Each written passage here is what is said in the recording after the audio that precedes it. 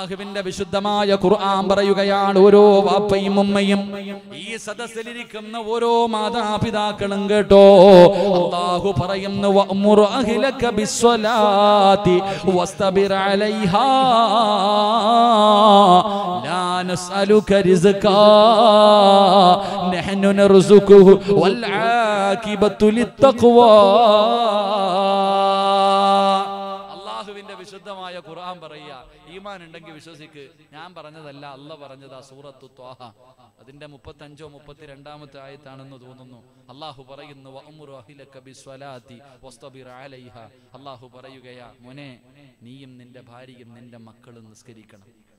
നീയും നിന്റെ ഭാര്യയും നിന്റെ മക്കളും കുടുംബസമേതം നിങ്ങൾ നിസ്കരിക്കുന്ന കുടുംബമായാൽ അല്ല പറയുകയാ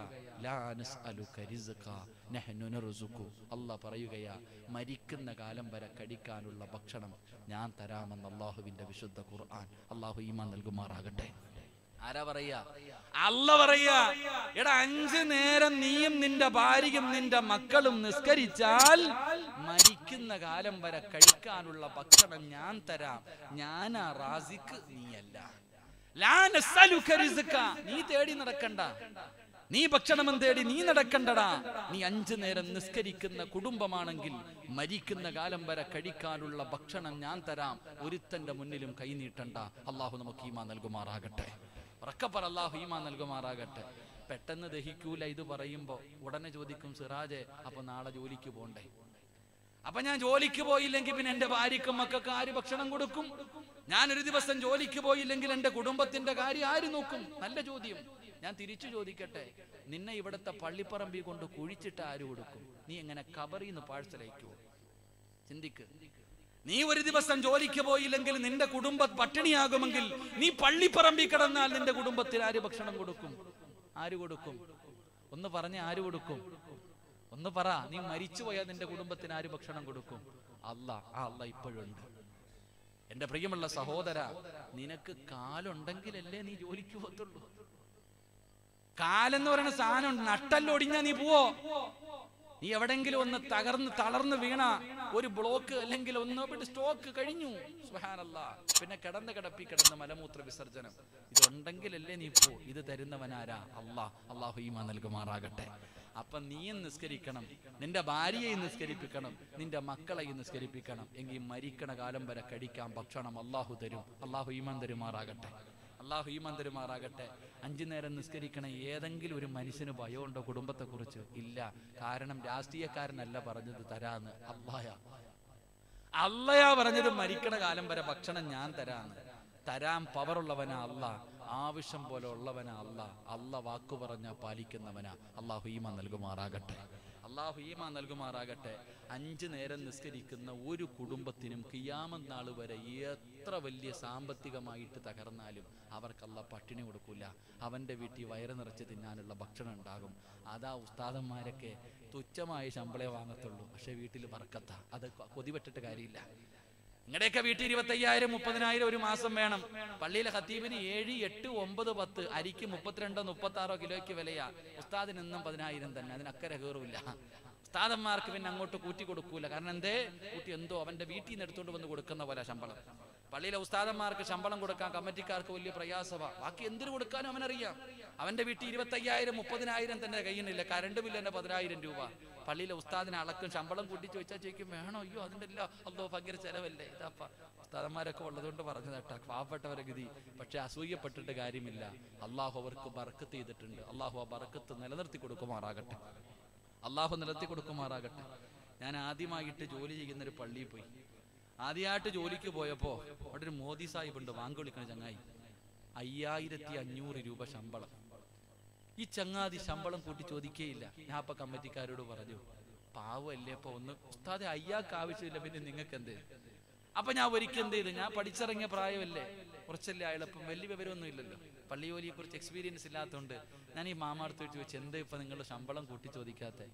എന്നോട് പറയാ ഉസ്താദെ മൂന്ന് പെമ്മക്കൾ ഉണ്ടായിരുന്നു മൂന്നിനെയും കെട്ടിച്ചു. മൂന്ന് മക്കളെയും ഞാൻ കെട്ടിച്ചു. പതിനഞ്ചും പത്തും പവനും രണ്ടു ലക്ഷം ഓരോ ലക്ഷം രൂപയും കൊടുത്ത് കെട്ടിച്ചു. അലഹമില്ല ഒരു രൂപ പോലും കടവില്ല. ഒരാളുടെ മുന്നിൽ ഞാൻ കൈനീട്ടാൻ പോയിട്ടില്ല. അലഹമില്ല അഞ്ച് സെന്റും ഒരു മനോഹരമായ വീടും ഉണ്ട് ഇതെല്ലാം ഈ അയ്യായിരത്തി അഞ്ഞൂറിൽ നിന്നല്ല കിട്ടിയ എനിക്ക് എന്താ വേണ്ടതെന്ന് അതാ പറക്കത്ത് അള്ളാഹു നൽകി അനുഗ്രഹിക്കുമാറാകട്ടെ. ഇവിടെ ഒരെണ്ണമേ ഉള്ളൂ വീട്ടിൽ. രാവും പകലും ഓടുക. കേൾക്കണം. മൂന്ന് പെമ്മക്കളെ ഒരു പത്തോ പതിനഞ്ചോ കൊല്ലത്തിന് മുമ്പ് ചിന്തിക്ക്. ആ മനുഷ്യൻ പത്തോ പതിനഞ്ചോ പവൻ സ്വർണവും കൊടുത്തു ഓരോ ലക്ഷം രൂപയും കൊടുത്തു. കടവുമില്ല പലിശയ്ക്ക് എടുത്തിട്ടില്ല ലോണും എടുത്തിട്ടില്ല ഒന്നുമില്ല. പടച്ചനെ ആരുടെ മുന്നിലും കൈ നീട്ടിയിട്ടില്ല പിരിവ് എടുക്കാതെ കെട്ടിച്ചിട്ട് അഞ്ച് സെന്റ് ഒരു വീട് കൊണ്ടു ഉസ്താദ് ഇനി എനിക്ക് എന്താ വേണ്ടേ? ഇതെല്ലാം ഈ അയ്യായിരത്തി അഞ്ഞൂറ് നല്ല ഉണ്ടായേ? ഇവിടെ ആകെ പത്ത് വയസ്സേ ഉള്ളൂ വീട്ടിൽ. പെണ്ണുമ്പിള്ള ഇടയ്ക്കിടയ്ക്ക് പറയും അള്ളാഹുവെ കൊച്ചു വളർന്നു വരുന്നു. രാവും പകലും ഒട്ടവാ മുള കെട്ടിക്കാറായി പത്ത് വയസ്സുകാരിയെ. അള്ളാഹു പഴയ ആൾക്കാരതാപ്പ. പഴയ ആൾക്കാരൊക്കെ ഇന്ന് രണ്ടെണ്ണത്തിൽ കൂടുതലില്ല വീട്ടിൽ. രണ്ടെണ്ണത്തിൽ കൂടുതലില്ല. പണ്ടെങ്കിൽ മൂന്നെണ്ണം പറക്കത്തിന് ഒന്നുകൂടെ. സുന്നത്തല്ല മൂന്നെണ്ണം നിർത്തി പ്രസവം നിർത്തി കഴിഞ്ഞു. എന്നാ പണ്ട് അങ്ങനല്ല. അഞ്ചും ആറും ഏഴും എട്ടും മക്കൾ. നമ്മുടെ വീട്ടിൽ പത്തെണ്ണം ആയിരുന്നില്ലേ ഉസ്താദ്? ഞങ്ങളുടെ ഉമ്മ പത്തെണ്ണം പത്ത് പ്രസവിച്ച അള്ളാഹു ഇന്നും ജീവിച്ചിരിപ്പുണ്ട്. ദീർഘായുസ് കൊടുക്കുമാറാകട്ടെ എന്റെ സഹോദരങ്ങളെ പണ്ടൊക്കെ ഓരോ വീട്ടിൽ അഞ്ചും ആറും പെൺമക്കൾ. ഏത് അത്തായിക്ക ടെൻഷൻ ഉണ്ടായിരുന്നു? എന്റെ മക്കളെ കെട്ടിച്ചു വിടണമെന്ന് പറഞ്ഞിട്ട് ഏത് വാപ്പായോ സുജൂതി കിടന്ന്? ഒന്നില്ല ഒരു പ്രയാസവും ഇല്ല. അവരൊക്കെ മനോഹരമായി ഇന്ന് ജീവിക്കുന്നതിനെക്കാളും നല്ല രീതിയിൽ ജീവിക്കുന്നുണ്ട് അവരൊക്കെ. അലഹമില്ല അള്ളാഹു ഈമാ നൽകി അനുഗ്രഹിക്കുമാറാകട്ടെ. അതുകൊണ്ട് എന്റെ പ്രിയമുള്ള സഹോദരങ്ങളെ നമ്മൾ മനസ്സിലാക്കേണ്ട കാര്യം അല്ല പറയുകയാ എന്നോട് നീ നന്ദി കാണിച്ച ഞാൻ തരാം ഭക്ഷണം. തവക്കിൽ എന്നെ ഏൽപ്പിക്കും. വിശ്വാസം എന്നെ ഏൽപ്പിക്ക് ഞാൻ തരാം. രണ്ട്.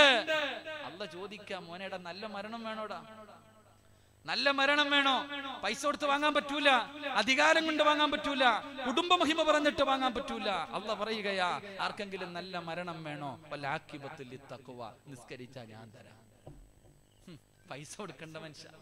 വെള്ളിയാഴ്ച ഓരോരുത്തരുടെ മയ്യത്ത് കണ്ടിട്ട് ഇറങ്ങിപ്പോ എന്താപ്പ ചിരിവോ ഓനെ കണ്ടോടെ നല്ല മരണം കേട്ടോ നല്ല മരണം കേട്ടോ. എന്റെ അത്ത മരിച്ചത് വെള്ളിയാഴ്ച രാവിലെ ചില മക്കൾ പറയും. ചില ഉമ്മമാര് പറയും ഉസ്താദ് നിസ്കരിച്ചിട്ട് സംസം വെള്ളം കുടിച്ച് ലാ ഇലാഹ ഇല്ലല്ലാ എന്ന് പറഞ്ഞിട്ടാ എന്റെ അമ്മ മരിച്ചേ. ഇത് പറയണേട്ടാ വിചാരിക്കും താത്തായിക്ക് സ്വർഗം കിട്ടുമെന്ന് എടാ ചങ്ങായി നിന്റെ വാപ്പ വെള്ളിയാഴ്ച മരിച്ച നിനക്ക് സ്വർഗം കിട്ടുമോ കിട്ടൂല അങ്ങാരി രക്ഷപ്പെട്ട്. ആ മനുഷ്യൻ രക്ഷപ്പെട്ട്.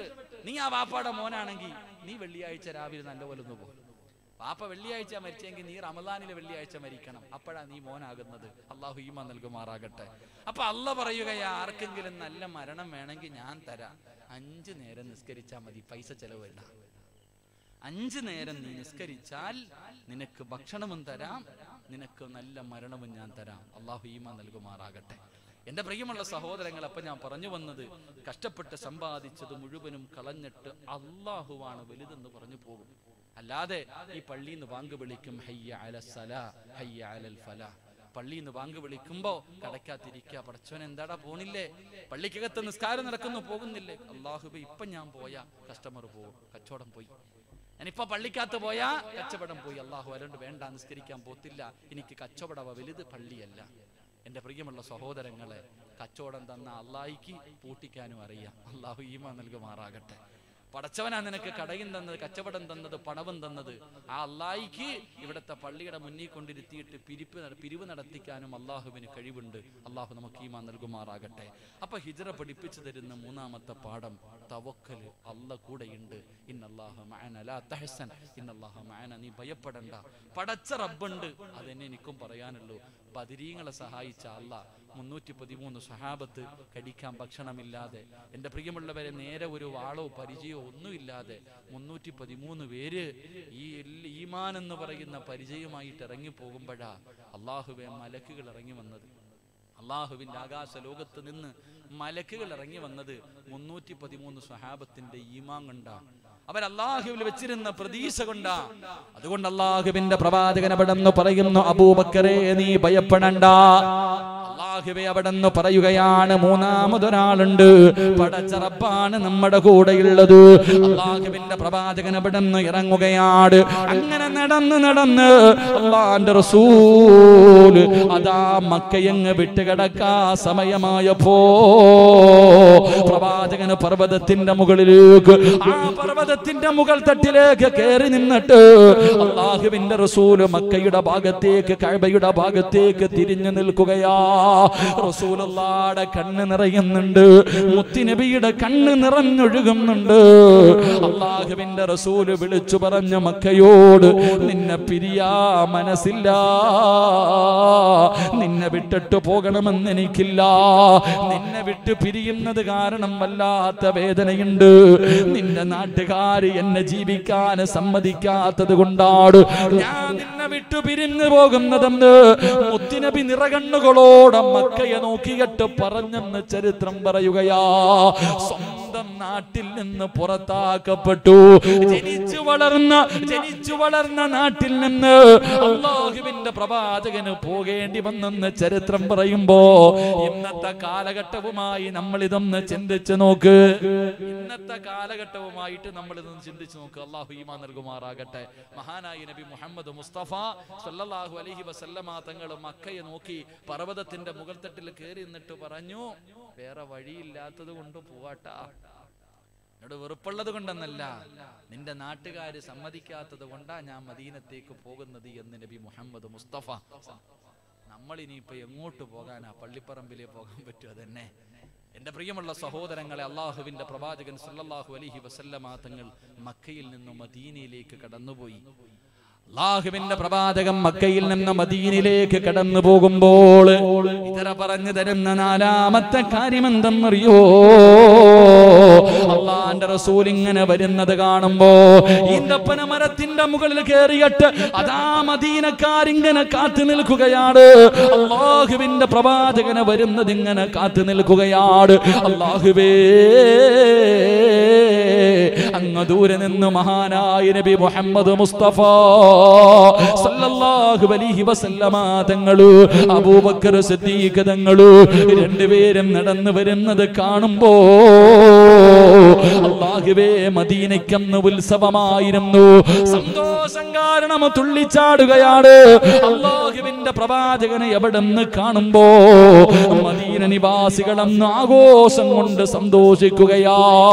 എന്റെ പ്രിയമുള്ളവരെ അവർ ചെയ്ത നാലാമത്തെ പാഠമെന്ത് അതാ മുഹാചിരിയങ്ങളെ കടന്നു വന്നപ്പോ ഇട്ടിരുന്ന വസ്ത്രവുമായി തന്റെ നാട്ടിലേക്ക് കടന്നു വന്ന മുഹാചിരിയങ്ങളോട് അൻസാരിങ്ങൾ ചെയ്തതെന്തെന്നറിയോ? അവരെ കെട്ടിപ്പിടിക്കുകയാ. അതാ അൻസ്വാരിങ്ങൾ മുഹാജിരിങ്ങളുടെ കയ്യിൽ പിടിച്ചിട്ട് അവർ പറഞ്ഞ കാര്യമെന്തേ? ഞങ്ങൾ കൂടെയുണ്ട്. ഞങ്ങൾ കൂടെയുണ്ട്. നിങ്ങൾ ഒരിക്കലും ഭയപ്പെടണ്ട. നിങ്ങൾക്കൊന്നുമില്ലെന്ന് പറഞ്ഞ് നിങ്ങൾ പേടിക്കണ്ട. ഞങ്ങൾ കൂടെയുണ്ട്. അള്ളാഹുവേ രണ്ട് വീടുള്ളവർ ഒരു വീട് കൊടുത്തു. രണ്ട് വീടുള്ളവർ ഒരു വീട് കൊടുത്തു. പടച്ചവനെ തോട്ടമുള്ളവർ തോട്ടങ്ങൾ കൊടുത്തു. വാഹനമുള്ളവർ വാഹനം കൊടുത്തു. സമ്പാദ്യമുള്ളവർ സമ്പത്തിന്റെ പകുതി കൊടുത്തു. എന്തിന്? രണ്ട് ഭാര്യമാരുള്ളവർ. രണ്ട് ഭാര്യമാരുള്ളവർ ഒരു ഭാര്യയെ തലാക്ക് പറഞ്ഞിട്ട് മുഹാജിരിങ്ങൾക്ക് വിവാഹം കഴിച്ചു കൊടുത്തു എന്ന് ചരിത്രം പറയുമ്പോ എന്റെ പ്രിയമുള്ള സഹോദരാ ഇതറ പഠിപ്പിച്ചു തരുന്ന നാലാമത്തെ കാര്യം എന്തെന്നറിയോ ഉള്ളവനില്ലാത്തവന് കൊടുക്കട്. ഉള്ളവനില്ലാത്തവന് കൊടുക്കട്.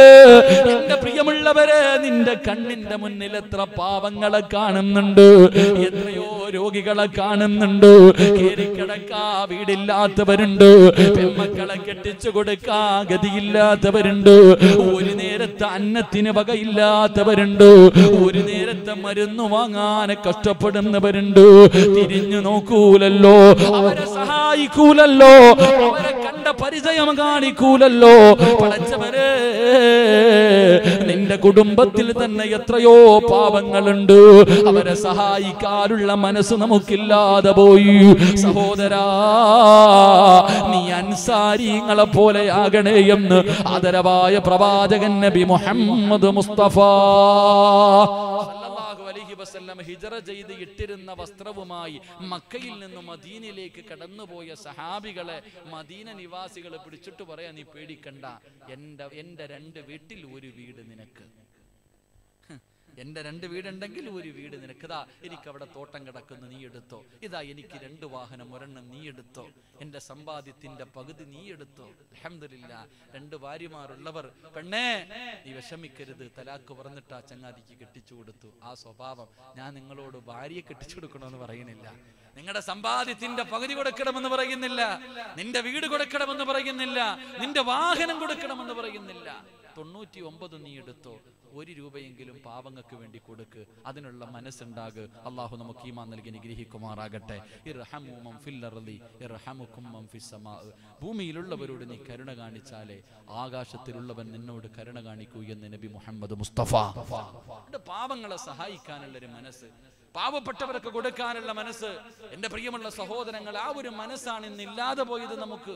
എത്രയോ യത്തീമീങ്ങൾ എത്രയോ പാവപ്പെട്ട പെൺമക്കൾ വിവാഹപ്രായം കഴിഞ്ഞവർ തിരിഞ്ഞു നോക്കാൻ തന്റെ കുടുംബത്തിൽ തന്നെ എത്രയോ പാവങ്ങൾ. നമ്മൾ ചോദിക്കും അള്ളാഹുവെ കടിക്കാൻ ഭക്ഷണമില്ലാത്ത വീടുകളുണ്ടെന്ന് പറഞ്ഞാൽ ചോദിക്കും അങ്ങനത്തെ ആൾക്കാരൊക്കെ ഉണ്ടോന്ന്? നിന്റെ കണ്ണ് തുറന്ന് നോക്കാത്തത് കൊണ്ടാ സഹോദര എത്രയോ പാവങ്ങളുണ്ട്. എന്റെ പ്രിയമുള്ള സഹോദരങ്ങളെ നമ്മളെ കൊണ്ട് ചെയ്യാൻ പറ്റുന്ന കാരുണ്യ പ്രവർത്തനങ്ങൾ നമ്മൾ ചെയ്യണം. നമ്മളെ കൊണ്ട് കഴിയുന്ന നമ്മുടെ കുടുംബത്തിലും നമ്മുടെ അയൽവാസികളിലും എത്രയോ പാപങ്ങളുണ്ട്. ആ പാവപ്പെട്ടവരെ സഹായിക്കാനുള്ള ഒരു മനസ്സ് എന്റെ പ്രിയമുള്ള സഹോദരങ്ങളെ നമുക്കുണ്ടാകണം. അള്ളാഹു നമുക്ക് ഭാഗ്യം തരുമാറാകട്ടെ. അങ്ങനെ ഉണ്ടാകുമ്പോഴാണ് നമ്മുടെ ജീവിതത്തിൽ മാറ്റമുണ്ടാകുന്നത്. നമുക്ക് അള്ളാഹുവിലേക്ക് അടുക്കാൻ കഴിയുന്നത്. എന്റെ പ്രിയമുള്ളവരെ സ്വഹാബികൾ അന്ന് വല്ലാത്ത ഏതൊരു പാവപ്പെട്ടവനെ സഹായിക്കുന്ന വിഷയത്തിൽ സ്വഹാബികൾ മത്സരമായിരുന്നു. ഇന്ന് സ്വഹാബികൾ വല്ലാത്ത മത്സരം.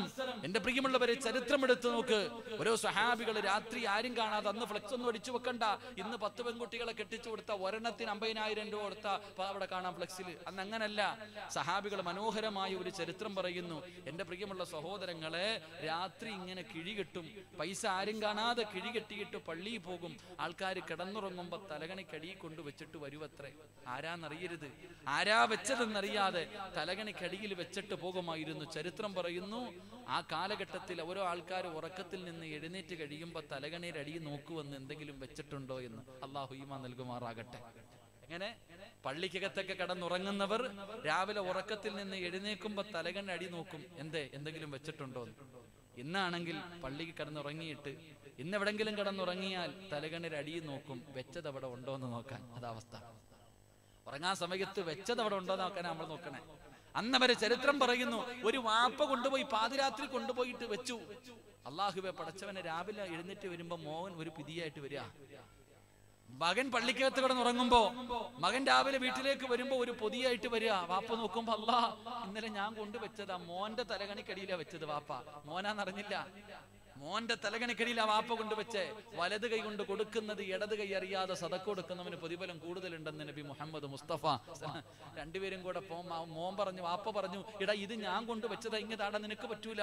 മകൻ പറഞ്ഞു ഇല്ല വാപ്പ നിങ്ങൾ ഞാനാന്നറിഞ്ഞില്ലല്ലോ കൊണ്ടുവച്ച. നബിയുടെ മുന്നിൽ പോയെന്നാ പരാതി. നബിയുടെ മുന്നിൽ പോയെന്ന.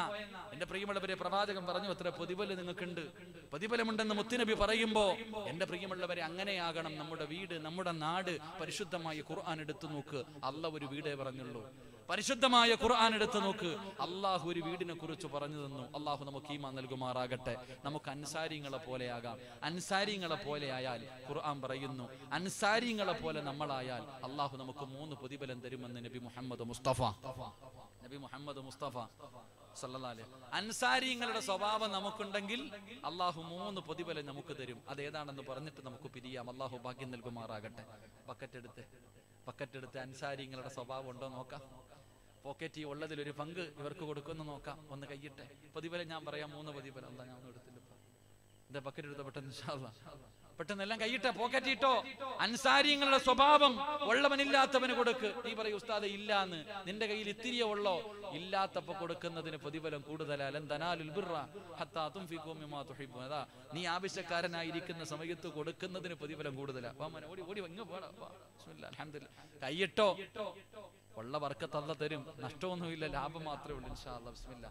അൽഹംദുലില്ലാ സല്ലല്ലാഹു അലാ മുഹമ്മദ് സല്ലല്ലാഹു അലൈഹി വസല്ലം. സല്ലല്ലാഹു അലാ മുഹമ്മദ് സല്ലല്ലാഹു അലൈഹി വസല്ലം. അല്ലാഹുമ്മ സല്ലി അലാ മുഹമ്മദ്. യാ റബ്ബി സല്ലി അലൈഹി വസല്ലം. കരുണക്കടലായ അല്ലാഹ്. ദയാലുവായ പടച്ചവരെ ആരെല്ലാം മനസ്സറിഞ്ഞു കൊണ്ടൊരു നല്ല സതക്ക് കൊടുക്കുന്നു? അവരുടെ കുടുംബം ഏറ്റെടുക്കണേ അല്ലാ. അവർക്ക് നീ ഹൈറും ബർക്കത്തും നൽകണേ അല്ലാ.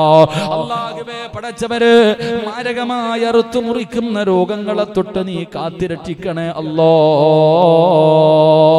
എന്റെ പ്രിയമുള്ള സഹോദരങ്ങൾ ഈ ബക്കറ്റിൽ പൈസ ഇടുന്നതിനു വേണ്ടി അല്ലാഹു നിങ്ങൾക്ക് തരുന്ന പ്രതിഫലം പറയാം. അൻസാരിങ്ങളെ പോലെ പാവങ്ങളെ സഹായിക്കാനുള്ള മനസ്സ് കാണിച്ചാൽ അള്ളാഹു നിങ്ങൾക്ക് തരുന്ന പ്രതിഫലം എന്തെന്നറിയോ അള്ളാഹുവിന്റെ പ്രവാചകൻ എവിടെന്ന് പറയുകയാണ് എന്റെ പ്രിയമുള്ള സഹോദരങ്ങൾ എന്റെ പ്രിയമുള്ള സഹോദരങ്ങൾ അള്ളാഹുവിന്റെ റസൂൽ എവിടെന്ന് പറഞ്ഞു തരികയോ. അള്ളാഹു നിങ്ങൾക്ക് സന്തോഷവും സമാധാനവുമുള്ള ഒരു ജീവിതം അള്ളാഹു തരുമെന്ന് നബി മുഹമ്മദ് മുസ്തഫ അൻസാരിങ്ങളെ പോലെ എന്റെ പ്രിയമുള്ളവരെ പാപങ്ങളെ സഹായിക്കാനുള്ള ഒരു മനസ്സ് നിങ്ങൾക്ക് ആർക്കെങ്കിലും ഉണ്ടെങ്കിൽ ഈ പൈസ കൊടുക്കുന്ന നിങ്ങൾക്ക് അള്ളാഹു തരുന്ന ഒന്നാമത്തെ പ്രതിഫലം സന്തോഷമുള്ള ഒരു ജീവിതം അള്ളാഹു നിങ്ങൾക്ക് തരുമെന്ന് നബി മുഹമ്മദ് മുസ്തഫ. ഉറക്കെ നബി മുഹമ്മദ് മുസ്തഫ. ഈ ഇരിക്കണ ചങ്ങാതിമാരിൽ എത്രയോ പേര് ഭാര്യയുടെ ഭാര്യ ഭാര്യ കാരണം കണ്ണുനീര് കുടിക്കുന്ന എത്രയോ പേരുണ്ട്. ഭാര്യയുടെ ദുസ്വഭാവങ്ങൾ ഭാര്യയുടെ സ്വഭാവങ്ങൾ അള്ളാഹുബ് അത് കാരണം അള്ളാഹുബെ മക്കൾക്ക് വേണ്ടി ജീവിക്കുന്ന എത്രയോ സഹോദരങ്ങൾ വല്ലാത്ത പ്രയാസത്തോടുകൂടി ജീവിക്കുന്നവർ. ഒരു നല്ല ഭാര്യ ഉസ്താദെ എന്റെ ഭാര്യ നന്നാകാൻ വേണ്ടി ദ്വാ ചെയ്. എത്രയോ പെണ്ണുങ്ങൾ പറയും ഉസ്താദെ എന്റെ ഭർത്താവ് നന്നാകുന്നതിന് വേണ്ടി ദ്വാ ചെയ്. എത്രയോ ചെറുപ്പക്കാർ പറയും ഉസ്താദെ ഒരു നല്ല പെണ്ണ് കിട്ടണമെന്ന് മോനെ നിനക്ക് നല്ല ജീവിതം വേണോ. മനസ്സറിഞ്ഞിട്ട് സദക്ക കൊടുക്ക്. അള്ളാഹു നിനക്ക് നല്ല ജീവിതം തരുമെന്ന് നബി മുഹമ്മദ് മുസ്തഫ. അതൊക്കെ പറഞ്ഞ നബി മുഹമ്മദ് മുസ്തഫ. സതക്ക കൊടുത്താൽ നല്ല മക്കളെ കിട്ടും എന്നുള്ളതിന് തെളിവ് വേണം.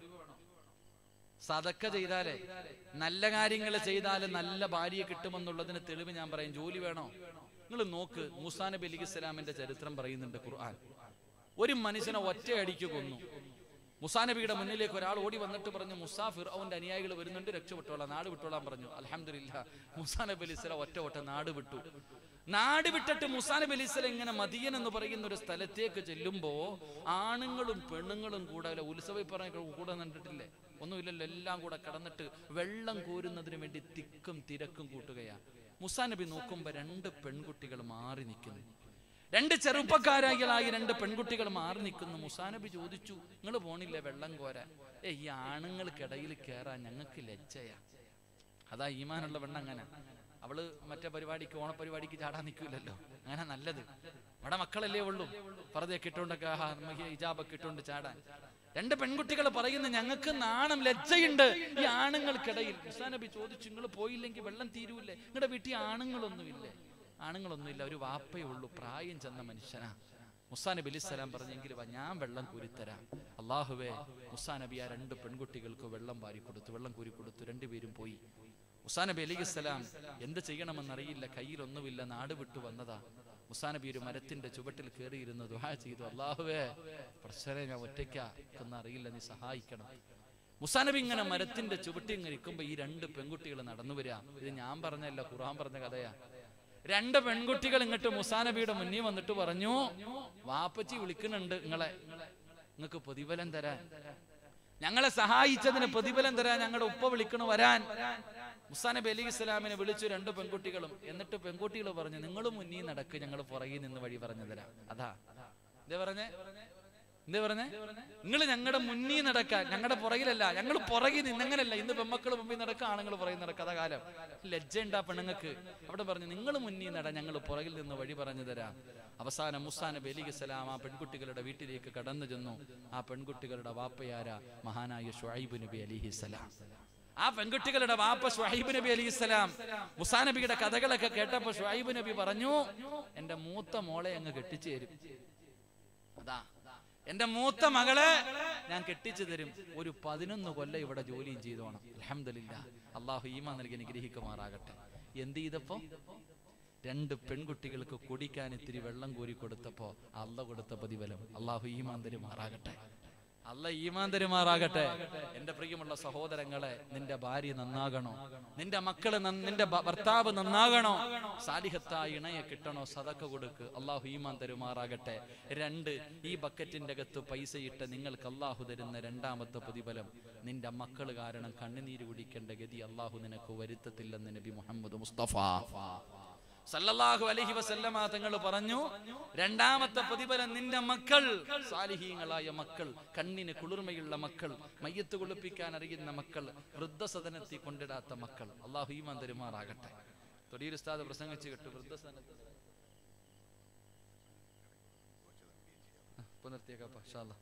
ഉജീന പിന്നെ കൊടുക്കാം. ദ്വാ കഴിഞ്ഞിട്ടല്ലേ അപ്പൊ ഉജീന അങ്ങനല്ലേ? മടിയുണ്ടോ? ഉജീനം കൊടുക്കുന്ന എപ്പോഴാ? ദ്വായ്ക്ക് ശേഷമാണോ ദ്വായ്ക്ക് മുമ്പാണോ? ഏ? അങ്ങനല്ലേ നാട്ടിൽ? അങ്ങനാണോ? ഒന്ന് കൈവക്കിക്ക് അങ്ങനെയാണെങ്കിൽ അപ്പൊ ദ്വായ്ക്ക് മുമ്പ് കൊടുക്കണോ ശേഷം കൊടുക്കണോ? എപ്പം കൊടുക്കണം? ശേഷം.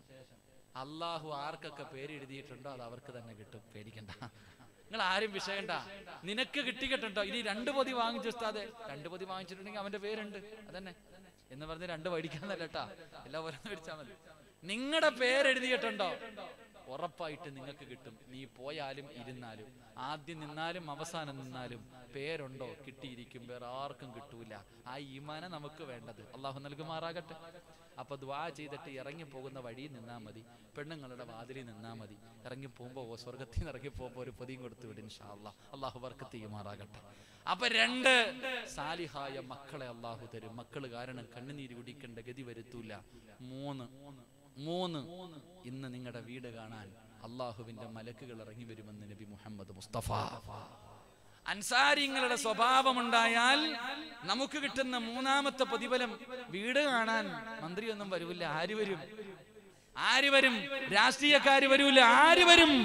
ജനിച്ചത് മുതൽ മരിക്കുന്ന കാലം വരെ പാപം ചെയ്യാത്ത അള്ളാഹുവിന്റെ മലക്കുകൾ നിന്റെ വീട് കാണാൻ വരുമെന്ന് നബി മുഹമ്മദ് മുസ്തഫ സല്ലല്ലാഹു അലൈഹി വസല്ലമ തങ്ങൾ പറയുമ്പോൾ ഇത് മൂന്നും കൂടെ ഒരുമിച്ച ഒരു ചരിത്രം പറഞ്ഞുകൊണ്ട് നമുക്ക് മഹാനായ നബി മുഹമ്മദ് മുസ്തഫ അലൈഹി വസല്ലമ തങ്ങൾ എന്റെ പ്രിയമുള്ളവരെ ആയിരത്തി നാനൂറ് വർഷങ്ങൾക്ക് മുമ്പ് ഇശാ നമസ്കാരം കഴിഞ്ഞു ഇശാ നമസ്കാരം കഴിഞ്ഞു പള്ളിയിലേക്ക് പോയ ഭർത്താവിനെ കാണാനില്ലാതെ ഭാര്യ ഇങ്ങനെ വീടിന്റെ മുന്നിൽ കാത്തു നിൽക്കുകയാ. അള്ളാഹുവിന്റെ പ്രവാചകന്റെ പള്ളിയിലേക്ക് മുത്തിനബിയുടെ ചാരത്തേക്ക് വാപ്പയും മകനും കൂടെ പള്ളിയിൽ പോയതാണ്. ഒരുപാട് സമയം കഴിഞ്ഞു. ഭർത്താവിനെയും മകനെയും കാണാതെ വന്നപ്പോ ഭാര്യ വീടിന്റെ വാതിലിൽ ടെൻഷൻ അടിച്ചിട്ട് കാത്തു നിൽക്കുകയാ.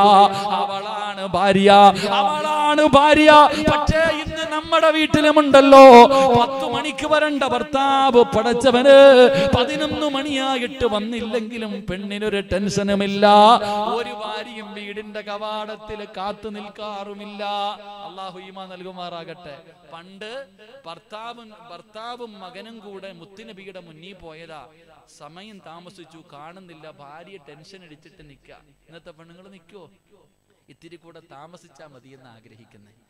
ഇത്തിരി കൂടെ ഇഷായിക്ക് പള്ളിയിൽ പോയ ഭർത്താവ് പത്തു മണിക്ക് വന്നാൽ മതി. എങ്കിലല്ലേ സീരിയൽ കണ്ട് തീർക്കാൻ പറ്റൂ. അള്ളാഹു ഈമാൻ തരുമാറാകട്ടെ അള്ളാഹു ഈമാൻ തരുമാറാകട്ടെ ചെറുപ്പക്കാരൻ പത്തു മണിയായി പോകുന്നില്ലേടാ. കുറച്ചുകൂടെ കഴിയട്ടെ ഉസ്താദെ. പള്ളിയുടെ റോഡ് സൈഡിലൊക്കെ ചെറുപ്പക്കാരൻ നിൽക്കുക പെണ്ണ് കെട്ടിയിട്ട് ഒരു വർഷം ആയില്ല. പോന്നില്ലടാ. കുറച്ചുകൂടെ കഴിയിട്ട് അവൾ ഉറങ്ങട്ടെ ഉസ്താദെ. ഇന്നത്തെ അവസ്ഥ ഇതാ. അള്ളാഹു ഈ തരുമാറാകട്ടെ എന്തേപ്പ അള്ളാഹു ഈമാൻ തരുമാറാകട്ടെ അള്ളാഹു നമുക്കൊക്കെ നല്ല ജീവിതം നൽകുമാറാകട്ടെ. നമ്മുടെ ഭാര്യമാരെ അള്ളാഹു സാലിഹത്താക്കി തരുമാറാകട്ടെ. ആമീൻ പറ. കെട്ടിയ പെണ്ണുമ്പിള്ള ഒളിച്ചോടി പോയാ പിന്നെ ആരാന്ന് പറഞ്ഞിട്ട് വല്ല കാര്യമുണ്ടോ? കെട്ടിയ പെണ്ണുമ്പിള്ള വല്ലവന്റെ കൂടെ പോയാ താടിയും തഴമ്പും പറഞ്ഞിട്ട് വല്ല കാര്യമുണ്ടോ? അള്ളാഹു ഈമാൻ നൽകുമാറാകട്ടെ. അള്ളാഹു നമ്മുടെ ഭാര്യമാരെയൊക്കെ സാലിഹത്തായ ഭാര്യമാരാക്കി തരുമാറാകട്ടെ. അള്ളാഹു നമ്മുടെ ഭാര്യമാരെ സ്വർഗത്തിനും ഭാര്യമാരാക്കി തരുമാറാകട്ടെ. ദുനിയാവിലെ ഭാര്യയെ സ്വർഗത്തിലും ഭാര്യയായിട്ട് വേണമെന്നുള്ള ഒന്ന് കൈപൊക്കിക്കും. സ്റ്റേജിൽ ഇരിക്കുന്നവരൊക്കെ പൊക്കിക്കോ? പെണ്ണുപിള്ളമാര് കാണുന്നുണ്ടെങ്കിൽ നോപ്പാടാ ചെന്ന ഉടനെ ചോദിക്കുക എന്താ ഉസ്താഹങ്ങൾ എന്താ പൊക്കാഞ്ഞേന്ന്? പലരും അധികം പേരും പെണ്ണ് കെട്ടിയവരാ. പൊക്കാത്ത എന്തെന്നറിയോ? ഉസ്താദ് ഇവളെ ഇവിടെ തന്നെ സഹിക്കാൻ പോരാ. അതിന് പറ്റിയ സ്വർഗത്തിൽ കൂടെ ഉണ്ടോ? ഇവിടെ സ്വർഗത്തിലുണ്ടെങ്കിൽ ഞാൻ അങ്ങോട്ടും പോണില്ല എന്നാ ചിന്തിക്കണ ചില ആൾക്കാർ അങ്ങനത്തെ ആൾക്കാരാ. നിങ്ങൾ ചിരിക്കൊന്നും വേണ്ട. ഈ ചോദ്യം പെണ്ണുങ്ങളോട് ചോദിച്ചാലോ? നിന്റെ ഭാര്യയോട് ചോദിച്ചാലോ? കൈവക്കും ഇവിടെ ഈ രണ്ട് പെണ്ണ് കിട്ടുന്നവരൊക്കെ ഉണ്ടോ? ഉണ്ടോപ്പാ രണ്ട് പെണ്ണ് കിട്ടുന്നവരൊക്കെ. ഈ അടുത്തൊരു പെണ്ണ് ഫേസ്ബുക്കിൽ ഇങ്ങനെ ഇട്ടിരിക്കുക ഉസ്താദ് നിങ്ങൾ ഈ ഈ ഒന്നോർത്ത ആ പെണ്ണ് പറഞ്ഞത് നല്ല കാര്യമാണ് പല കുടുംബങ്ങളിലും ഭർത്താവ് മരണപ്പെട്ടു പോയ പെൺകുട്ടിയെ വിവാഹം കഴിച്ചു കൊടുക്കാൻ കുടുംബക്കാര് തയ്യാറാകാത്തവരുണ്ട്. ഒറ്റിച്ചു കൊടുക്കണം അങ്ങനെയുള്ളവർ. ചോദിക്കാറ് പോലും ഇല്ല. നിനക്കൊരു വിവാഹാലോചന കൊണ്ടുപറ്റും ചോദിക്കാറ് പോലും ഇല്ല. അപ്പൊ അതിനെക്കുറിച്ച് കൂടെ ഉസ്താദ് വഴുതു പറയണം. പെണ്ണുങ്ങൾ ഇങ്ങനെ വഴി തെറ്റിക്കോ ഇതിനെക്കുറിച്ച് എന്നെ ഉപദേശിക്കുക ഒരു ഒരു വലിയ കമൻസ് ഇട്ടതാണ്. അപ്പൊ ഞാൻ പറഞ്ഞത് ചില ആൾക്കാർ അങ്ങനെ രണ്ടാമത് വിവാഹം കഴിക്കുന്നവരുണ്ട്. ഇങ്ങനെ കഴിച്ചിട്ട് രണ്ടിന്റെ ഇടയിൽ കടന്ന് കണ്ണുനീര് കുടിക്കുന്നവരുണ്ട്. അങ്ങനെ ചില ഉണ്ടല്ലോ ഞാൻ എന്റെ ഒരു അനുഭവം ഇങ്ങനെ പറയാറുണ്ട്. അപ്പോൾ ഞങ്ങളൊരു ഒരു വലിയൊരു സമ്പന്നന്റെ വീട്ടിൽ ഭക്ഷണം കഴിക്കാൻ പോയത്. അയാളെ ഇറച്ചിന്നല്ല കേട്ടോ ഒരു ഉപദേശം പറയാം. ഭക്ഷണം കഴിക്കാൻ പോയി. അപ്പൊ ഭക്ഷണം എല്ലാം കഴിച്ചിട്ട് ഇറങ്ങുന്ന സമയം നമ്മുടെ കൂടെ ഉള്ള ഒരു പ്രായമുള്ള ഉസ്താദിനെ വിളിച്ച് വീടിന്റെ റൂമിന്റെ അകത്ത് കൊണ്ടുപോയി. എന്നിട്ട് ഈ മനുഷ്യൻ ഇങ്ങനെ നിന്നിട്ട് എന്തൊക്കെയോ പരാതി പറയുന്നുണ്ട് കരയുന്നുണ്ട്. അപ്പൊ ഈ ഉസ്താദ് ഇങ്ങനെ ഇടയ്ക്കിടയ്ക്ക് നോക്കും ചിരിക്കും നമ്മളെ. ഇടയ്ക്ക് ഇങ്ങനെ നോക്കും പുഞ്ചിരിക്കുന്നുണ്ട്. ഇയാളാണെങ്കിൽ വലിയ കരച്ചിൽ അപ്പൊ തിരിച്ചിങ്ങനെ ഇറങ്ങി പോണ സമയത്ത് ഇങ്ങനെ ചോദിച്ചു എന്തേ ഉസ്താദ്? ഇങ്ങനെ കരി ഒന്നുമില്ല. പാവപ്പെട്ടവൻ രണ്ട് പെണ്ണ് കെട്ടി. നമ്മൾ പറയൂലേ ശൈത്താന്റെയും കടലിനെ നടക്കുന്ന പറയണ പോലെ രണ്ട് വിവാഹം കടിച്ചിട്ട് രണ്ടിന്റെ അടുത്ത് നിന്ന് സമാധാനം കിട്ടാതെ വല്ലാത്ത ദുഃഖത്തില. ആ മനുഷ്യൻ അത് പറഞ്ഞിട്ട് നിന്ന് കരയ. അപ്പൊ ഞാൻ നിങ്ങൾ എന്തിനാ ഇപ്പൊ ചിരിച്ചത്? ഞാൻ മൂന്നെണ്ണം കെട്ടിയിട്ട് അടക്കാം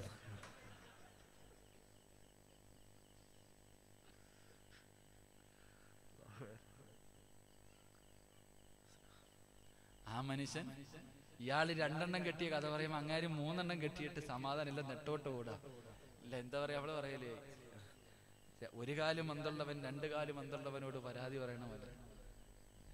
രണ്ട് പെണ്ണൊന്നും വേണ്ട ഒരെണ്ണം മതി. അതങ്ങ് നല്ലതുപോലെ ജീവിച്ചാ മതി. അള്ളാഹു ഈമാ നൽകുമാറാകട്ടെ.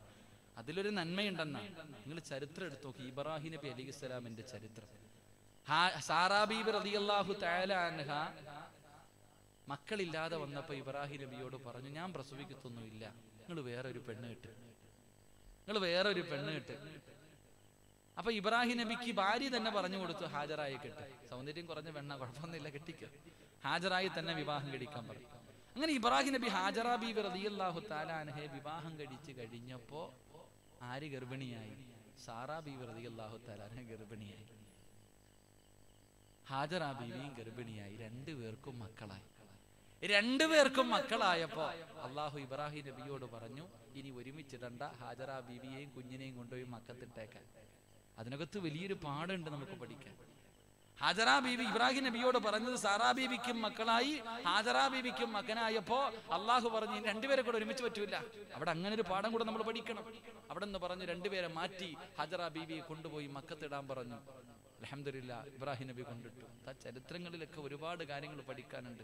അള്ളാഹു ഇനിയിപ്പോ ചിലർ ചോദിക്കും ഉസ്താദ് നാല് വരെ കെട്ട നാല് വരെ കെട്ടാൻ പറ്റും കെട്ടിക്കോ? നാലിനെയും നല്ല നിലയിൽ കൊണ്ടുപോകാനുള്ള കഴിവും ഈമാനും നിനക്കുണ്ടെങ്കിൽ കെട്ടിക്കോ. അള്ളാഹു ഈമാൻ നൽകി അനുഗ്രഹിക്കുമാറാകട്ടെ. കെട്ടാന്നല്ല ഞാൻ പറഞ്ഞത് കേട്ടോ. അള്ളാഹു നമുക്ക് നല്ല ജീവിതം നൽകുമാറാകട്ടെ.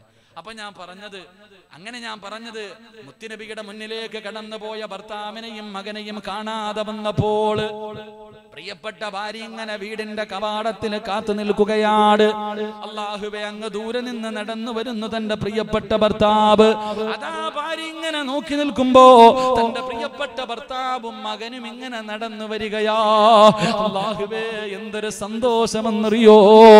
തന്റെ പ്രിയപ്പെട്ട ഭർത്താവായ അബൂ തൽഹ റളിയല്ലാഹു തന്റെ പൊന്നാര മകൻ അനസ് റളിയല്ലാഹു തആല അൻഹു വാപ്പയും മകനും കൂടെ കൈ പിടിച്ച് നിസ്കാരം കഴിഞ്ഞു വരുന്ന രംഗം കണ്ടപ്പോ എന്ന് പറയുന്ന ഭാര്യ വീടിന്റെ മുന്നിൽ നിന്ന് ചിരിച്ചുകൊണ്ട് നിൽക്കുകയാണ്. പടച്ചവനെ ഭർത്താവും മകനും ഇങ്ങനെ അടുത്തടുത്ത് വരുമ്പോ അതാ നോക്കുമ്പോൾ മൂന്നാമതൊരു പ്രായമുള്ള മനുഷ്യനുണ്ട്. കൂടെ പ്രായമുള്ള ഒരു മനുഷ്യനുണ്ട്. അള്ളാഹുവേ വീടിന്റെ വെളിയിൽ നിന്ന് സലാം പറഞ്ഞു. സലാം അടക്കി. എല്ലാവരും വീടിന്റെ അകത്ത് കയറി. ഭർത്താവിനെ വീടിന്റെ അകത്തേക്ക് വിളിച്ചിട്ട് ചോദിക്കുന്നു അബൂതൽഹ ആരാ പ്രായമുള്ള മനുഷ്യനാരാ? അവിടുന്ന് പറഞ്ഞു പെണ്ണേ. ഇശാ നമസ്കാരം കഴിഞ്ഞ് പള്ളിയുടെ വെളിയിലേക്ക് ഇറങ്ങിയപ്പോ അള്ളാഹുവിന്റെ പ്രവാചകം ചോദിച്ചു സഹാബത്തെ ഒരു പാവപ്പെട്ട മനുഷ്യനുണ്ട് സഹാബ. ആരാ കൊണ്ടുപോയി ഭക്ഷണം കൊടുക്കുന്നത്? മുത്തിനബി ചോദിക്കേണ്ട താമസം. അബൂതൽഹു പറഞ്ഞു ഞാനുണ്ട് നബിയേ. അങ്ങനെ വിളിച്ചു കൊണ്ടുവന്നതാണ്. ഉമ്മുസ്ലീമിന്റെ കണ്ണ് നിറയാൻ തുടങ്ങി. ആ ഭാര്യയുടെ കണ്ണ് നിറയാൻ തുടങ്ങി. എന്തിനാ കരഞ്ഞതെന്നറിയോ? അവിടെന്ന് പറയുന്നു തൽഹ ഈ ഭക്ഷണമില്ല. ഈ വീടിന്റെ അകത്ത് ഭക്ഷണമില്ല. പടച്ചവരെ നമ്മൾ രണ്ടുപേരും ഇന്ന് പട്ടിണിയാട്. നമ്മുടെ മകന് ഭക്ഷണം കടിച്ചിട്ട് എത്രയോ ദിവസങ്ങളായി. അവന് വയറ് നിറച്ച് ഭക്ഷണം കടിച്ചിട്ട് ദിവസങ്ങളായി. അതുകൊണ്ട് ഇന്ന് നമ്മൾ രണ്ടുപേരും പട്ടിണി ഇരുന്നിട്ട് നമ്മുടെ ഭക്ഷണം അവന് കൊടുക്കാ. എന്ന് കരുതി വച്ചിരിക്കുന്ന ഈ കുറച്ചു ഭക്ഷണമല്ലാതെ ഈ വീടിന്റെ അകത്ത് വേറെയൊന്നുമില്ല. പിന്നെ എങ്ങനെയാ മനുഷ്യന് ഭക്ഷണം കൊടുക്കുന്നത്? അള്ളാഹുബേ ഭാര്യയും ഭർത്താവും വീടിന്റെ അകത്തിരുന്ന് കരയുമ്പോ എന്ന് പറയുന്ന പതിനൊന്ന് വയസ്സുകാരൻ ചോദിക്കുന്നു വാപ്പാ എന്തിനാ കരയുന്നത്? മോനെ ഉപ്പ വിളിച്ചു കൊണ്ടുവന്ന മനുഷ്യന് ഭക്ഷണം കൊടുക്കാറില്ല. ഇരിക്കുന്ന ഭക്ഷണം മകനുള്ളതാണ്. നിനക്ക് തിന്നാനുള്ള ഈ ഭക്ഷണമല്ലാതെ വേറെ ഒന്നുമില്ല. മൂന്ന് പേരും കൂടെ അടുക്കളയിലിരുന്ന് കരയുകയാ. വാപ്പയും ഉമ്മയും മകനും കൂടെ വീടിന്റെ അകത്തിരുന്ന് കരഞ്ഞുകൊണ്ടിരിക്കുമ്പോ ആ സാലികത്തായ ഭാര്യ പറഞ്ഞു ഭർത്താവിനോട് ഞാനൊരു വഴി പറഞ്ഞു തരട്ടെ ഞാനൊരു വഴി പറഞ്ഞു തരട്ടെ. എന്തേ വഴി എന്നറിയോ? ഒരു പാത്രത്തിന്റെ അകത്ത് ഭക്ഷണം എടുക്കാ. എന്നിട്ട് എല്ലാവരും കൂടെ ഭക്ഷണം കഴിക്കാനിരിക്കുമ്പോ ഉമ്മ പറഞ്ഞു കൊടുക്കുന്നു മോനെ അനസ് വിളക്കങ്ങ് അണയ്ക്കണേ മോനെ. എന്റെ മോനങ്ങ് വീളക്കങ്ങ് തട്ടി അണച്ച് കളയണം. എന്നിട്ട് മോൻ ഭക്ഷണം വാരി കഴിക്കരുത്. വാപ്പ കൊണ്ടുവന്ന പാവപ്പെട്ടവന് കൊടുക്കാം ഇന്ന് നമുക്ക് പട്ടിണി കിടക്കാ. ഇന്ന് നമുക്ക് പട്ടിണി കിടക്കാ. ഭക്ഷണം എടുത്തു വെച്ചു. ഭക്ഷണം എടുത്തു വെച്ചു. അള്ളാഹുവേ എല്ലാവരും കഴിക്കാനിരുന്നു. അനുസന്ന പതിനൊന്ന് വയസ്സുകാരൻ ഭക്ഷണ പാത്രത്തിലേക്ക് നോക്കി.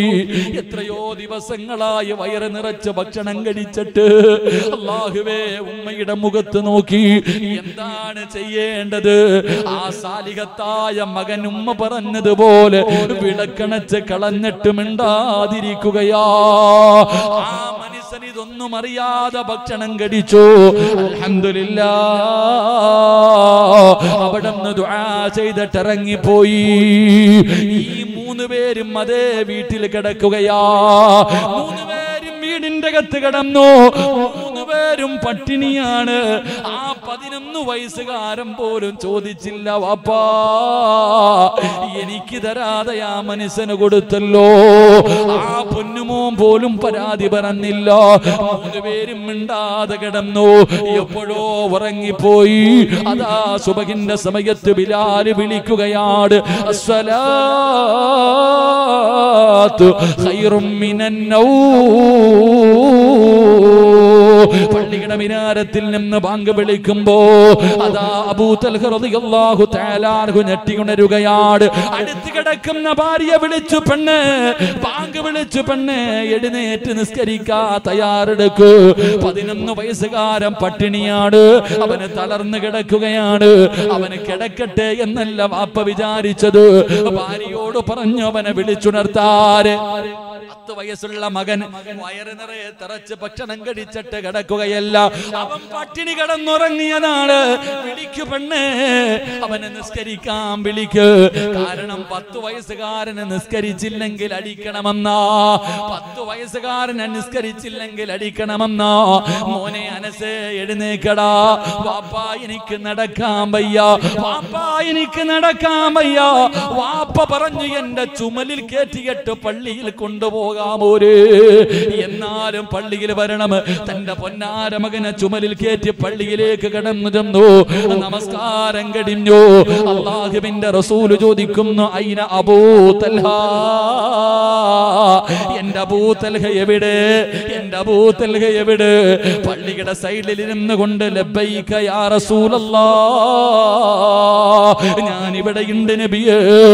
മുത്തിനബി ചാരത്തേക്ക് വിളിച്ചു അബൂ അടുത്തേക്ക് വിളിച്ചു. എന്നിട്ട് പറഞ്ഞു തൽഹാ ഇന്നലെ വിളക്കണച്ചട്ട് നടത്തിയ വിരുന്ന് അള്ളാന് വല്ലാതെ ഇഷ്ടപ്പെട്ടു അബൂ തൽഹാ. അബൂ തൽഹ റളിയല്ലാഹു തആല അവിടുന്ന് ചോദിക്കുന്നു യാ റസൂലല്ലാ എന്റെ വീടിന്റെ അകത്ത് രഹസ്യമായി നടന്ന കാര്യം അങ്ങനെ അറിഞ്ഞു നബിയേ? അങ്ങനെ അറിഞ്ഞു നബിയേ? മുത്തുനബി പറഞ്ഞു തൽഹാ ഞാൻ മാത്രമല്ല ഇന്നലെ നീയും നിന്റെ ഭാര്യയും നിന്റെ മകനും കൂടെ പട്ടിണി കിടക്കുന്നത് കാണാൻ ആകാശത്ത് നിന്ന് മലക്കുകൾ ഇറങ്ങി വന്നു തല്ലാ. നിന്റെ വീട് കാണാ നിന്റെ കുടിൽ കാണാ നിന്റെ കുടുംബത്തെ കാണാ. അള്ളാഹുവിന്റെ റഹ്മത്തിന്റെ മാലാകമാര് നിന്റെ വീട്ടിലേക്ക് കടന്നു വന്നു തൽഹാ അത് മാത്രമല്ല മലക്ക് ജിബിരീൽ ജിബിരീൽ അലിഹിസലാം ഇറങ്ങി വന്നു. ഖുർആനിൽ ആയത്തിറങ്ങി അള്ളാന്റെ ഖുർആനിൽ ആയത്തിറങ്ങി വല്ലദീന തബവ്വഉ الدار والإيمان من قبلهم يحبون من هاجر إليهم ولا يجدون في صدورهم حاجة مما أوتوا ويؤثرون على أنفسهم ولو كان بهم خصاصة ومن يوك شهء نفسه فأولئك هم المفلحون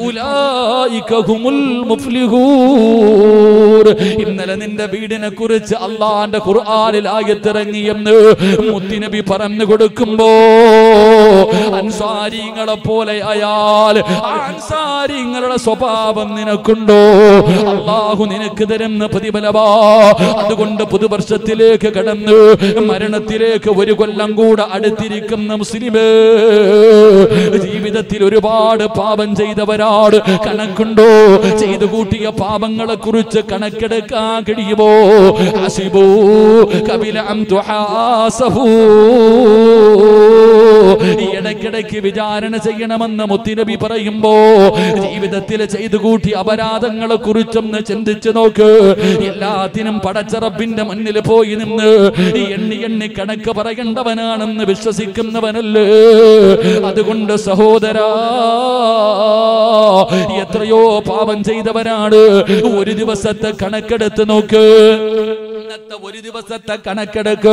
രാവിലെ ഉറക്കപ്പായിൽ നിന്ന് എഴുന്നേറ്റത് മുതൽ കണ്ണുകൊണ്ട് കണ്ടത് പാപമാട് ചെവി കൊണ്ട് കേട്ടത് പാപമാട് നാവ് കൊണ്ട് പനന്നത് പാപമാട് കൈ കൊണ്ട് പിടിച്ചത് പാപമാട് കാലുകൊണ്ട് നടന്നത് പാപത്തിലേക്കാട് ഹൃദയം കൊണ്ട് ചിന്തിച്ചത് പോലും പാപമാട് മോനെ ലക്ഷക്കണക്കിന് പാപം ചെയ്ത മഹാപാവികളാ. അതുകൊണ്ട് പ്രിയമുള്ളവരോട് എത്ര വലിയ പാപം ചെയ്തവരാണെങ്കിലും നിനക്ക് പടച്ചറപ്പിന്റെ മുന്നിൽ ഇരു കരങ്ങൾ പൊട്ടിക്കരന്ന് കൊണ്ട് ഏറ്റു പറയാനുള്ള മനസ്സുണ്ടോ? എത്ര വലിയ പാപം ചെയ്തവനാണെങ്കിലും പേടിക്കണ്ട. കള്ളു കുടിച്ചവനാണെങ്കിലും വ്യഭിചരിച്ചവനാണെങ്കിലും പലിശ തിന്നവനാണെങ്കിലും അഹങ്കാരിയെ പോലെ നടന്നവനാണെങ്കിലും പല പല ജീവിതങ്ങളെ തകർത്ത് തരിപ്പണമാക്കിയവനാണെങ്കിലും മോനെ ഒരു പേടിയും വേണ്ടടാ ഒരു ഭയവും നിനക്ക് വേണ്ട. ചെയ്തു പോയ പാപങ്ങൾ പടച്ചറപ്പിന്റെ മുന്നിൽ നിനക്കൊന്ന് പറയാൻ കഴിയുമോ നിന്റെ റബ്ബാരാ. നൂറ് കൊല ചെയ്തവന് പുറത്തു കൊടുത്ത റബ്ബാ. മയ്യത്തിനെ വ്യഭിചരിച്ചവന് പുറത്തു കൊടുത്ത റബ്ബാ. എത്രയോ കള്ളുകുടിയന്മാർക്ക് പുറത്തു കൊടുത്ത റബ്ബാ. സ്വന്തം പെമ്മക്കളെ ജീവനോടെ കുടിച്ചു മൂടിയ വാപ്പമാർക്ക് പുറത്തു കൊടുത്ത റബ്ബാ. ഒരു പേടിയും വേണ്ട. റബ്ബിനോട് പറയാനുള്ള മനസ്സാണ് വേണ്ടത്. കുല്യ ഇബാദിയല്ലദീന അസുറഫൂ അലാ അൻഫുസിഹിം ലാ തകിനതൂ മിർ റഹ്മത്തില്ലാ അല്ലാഹുവല്ലേ പറഞ്ഞത്? നബിയേ പറ നബിയേ അവരെത്ര വലിയ ദുൽമ പ്രവർത്തിച്ചവരാണെങ്കിലും എന്നോടൊന്ന് ചോദിക്കാം പറ നബിയേ. എന്നോടൊന്ന് ഏറ്റു പറയാ പറ നബിയേ. ഞാൻ പുറത്തു കൊടുക്കുന്നവനാ നബിയേ. ഞാൻ നബിയേ. നബിയേ. അള്ളാഹുവിന്റെ പരിശുദ്ധമായ ഖുർആൻ പറയുമ്പോ പറയാൻ കഴിയുവോ?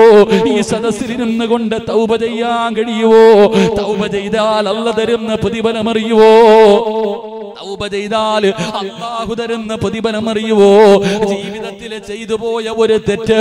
ഇന്ന് ഈ സദസ്സിലിരുന്ന് കൊണ്ട് റബ്ബിന്റെ മുന്നിലേറ്റ് പറഞ്ഞ് ഇന്ന് രാത്രി എങ്ങാണം നീ മരിച്ചു പോയാൽ നിനക്കല്ല തരുന്ന പ്രതിഫലം അറിയോ? നിനക്കല്ല തരുന്ന എന്റെ പ്രിയമുള്ളവരെ ഇന്ന് ഈ സദസ്സിലിരുന്ന് കൊണ്ട് അള്ളാഹുവിന്റെ മുന്നിൽ പൊട്ടിക്കരഞ്ഞുകൊണ്ട് ജീവിതത്തിൽ ചെയ്തു പോയ പാപങ്ങൾ മുഴുവനും അള്ളാഹുവേ പൊറത്തുതാ പടച്ചവര് പറ്റിപ്പോയതാ തമ്പുരാന്. നിനക്കും നേറ്റു പറയാൻ കഴിയോ? എങ്ങനെ പറയണമെന്നറിയോ? വെറുതെ പറഞ്ഞാ പോരാ വെറുതെ പറഞ്ഞാ പോരാ. പൊട്ടിക്കരഞ്ഞുകൊണ്ട് റബ്ബിനോട് പറയണം പൊറുക്കന്റെ പാപം സ്വയ്യീ വെറുക്കാതെ. പൊറുക്കുന്നവനാരുണ്ട് നീ അല്ലാതെ ഇഹലോക ആർഭാടങ്ങളെന്നെ വലച്ചതാ. നഫ്സന്ന ഉന്തി തള്ളിവിട്ടു ചതിച്ചതാ. അല്ലാതെ ധിക്കരിച്ചല്ല റബ്ബേ നിന്നെ. അതുകൊണ്ട് ആട്ടരുതിലാകെ എന്നെ. അല്ലാ ഈ ലോകത്ത് നിന്നെക്കാലം പുറക്കും ആരാ ഉള്ളത്? നീയേ ഉള്ള തമ്പുരാന്. പടച്ചവരെ പെടതാ പെട്ടുപോയതാ തമ്പുരാന്. ചെയ്താ പിടപ്പിച്ചതാ തമ്പുരാന്. അള്ളാഹുവേ എന്ത് ചെയ്താലും നീ കാണുമെന്ന് എനിക്കറിയാ. എന്നിട്ടും ചെയ്തത് അഹങ്കാരമല്ല ധിക്കാരമല്ല. പെട്ടുപോയതാണല്ലോ. പറയാൻ കഴിയോ കരയാൻ കഴിയുമോ തൗബ ചെയ്യാൻ കഴിയോ ഇന്നിവിടെ നിന്ന് പിരിഞ്ഞു പോയി. നാളെ രാവിലെ ഇവിടത്തെ പള്ളിയിൽ നിന്ന് സുബഹിമാങ്ക് വിളിക്കുമ്പോ നീ എഴുന്നേക്കുന്നില്ല നീ മരിച്ചുപോയി. എല്ലാകുവേ കുടുംബക്കാർ മുഴുവനും ഒരുമിച്ച് കൂടി നിന്റെ മയ്യത്ത് കുളിപ്പിച്ചു. എന്നിട്ട് മൂന്ന് കഷ്ടം തുണികിട മുകളിലേക്ക് നിന്നെ എടുത്ത് കിടത്തി. മൂക്കിന്റെ ദ്വാരം പഞ്ഞി കൊണ്ടടയ്ക്കുന്നേ. കാണേണ്ടവർ കണ്ടോ? ഇതാ പൊതിയുന്നേ. മയ്യത്തുകട്ടിൽ തോളിലേക്കുയരുന്നേ. പുരയ്ക്കുള്ളിലപ്പോൾ രോദനം ഉയരുന്നേ. അരുമക്കിടാങ്ങൾ വാപ്പയെ വിളിക്കുന്നേ. അതിനുത്തരം നൽകാതെ നീ കിടക്കുന്നേ. എല്ലാവരും കൂടെ നാളെ കുളിപ്പിച്ച് മൂന്ന് കഷ്ടം തുണിക്കകത്തെടുത്ത് കിടത്തി കുറച്ചു പഞ്ഞിയും വാരി വെച്ചിട്ട് നിന്നെ പൊതിഞ്ഞുകൊണ്ട് ഇവിടത്തെ പള്ളിയിൽ കൊണ്ടുവന്ന് നമസ്കാരം കടിഞ്ഞു എന്നിട്ട് ആറടി മണ്ണിലേക്ക് കൊണ്ടുവെക്കുമല്ലോ പള്ളിപ്പറമ്പിലേക്ക് നിന്റെ ജനാസ കൊണ്ടിറങ്ങുമ്പോ സുബഹാറല്ലാ ഇവിടത്തെ കബർസാനിൽ പെരുന്നാളിന്റെ ആഘോഷവാ. കബറാളികൾക്ക് നാളെ വല്ലാത്ത സന്തോഷവാ. എന്തുകൊണ്ടെന്നറിയോ? നീ പോയത് കൊണ്ട് തൗബ ചെയ്ത നീ മരിച്ച് നിന്റെ മയ്യത്ത് കൊണ്ടുപോയത് കൊണ്ട് അള്ളാഹുവിന്റെ റസൂൽ പറയുകയാണ്. റസൂൽ പറയുകയാ തൗബ ചെയ്തിട്ട് ഈ സദസ്സിൽ നിന്ന് പിരിഞ്ഞു പോകുന്ന മനുഷ്യ ഇന്നീ പോകുന്ന വഴിയിൽ നീ അങ്ങ് മരിച്ചു. നാളെ നിന്റെ മയ്യത്ത് കുളിപ്പിച്ച് ഇവിടത്തെ പള്ളിപ്പറമ്പിൽ കൊണ്ടുപോയി കുഴിച്ചിടുമ്പോ അള്ളാഹുവേ നീ തൗപ ചെയ്തതിന്റെ പേരിൽ നീ തൗപ ചെയ്തിട്ട് മരിച്ചതിന്റെ പേരിൽ നിന്റെ പരിസരത്ത് കിടക്കുന്ന കബറാളികൾക്ക് പോലും അള്ളാഹു പുറത്തു കൊടുക്കുമെന്ന് നബി മുഹമ്മദ് മുസ്തഫ. സല്ലല്ലാഹു അലൈഹി വസല്ലം. ഹാഫിദിന്റെ പ്രതിഫലമല്ല.